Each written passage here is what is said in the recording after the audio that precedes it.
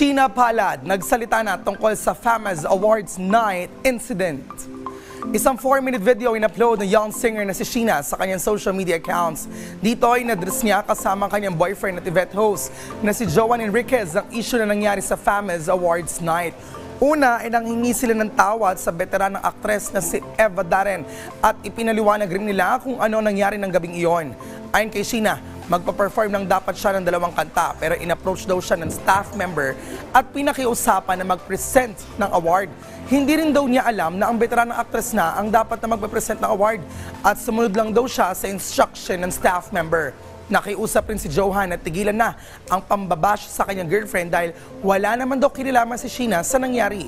Samantala, naglabas na rin ang FAMAS ng statements of apology explanation tungkol sa nangyari sa awards night. At isa pang Facebook post ay naglabas ulit ng statement ng anak ni Eva Darren na si Fernando de la Peña kung saan ay tinanggap nila ang paghingi ng tawad ng FAMAS.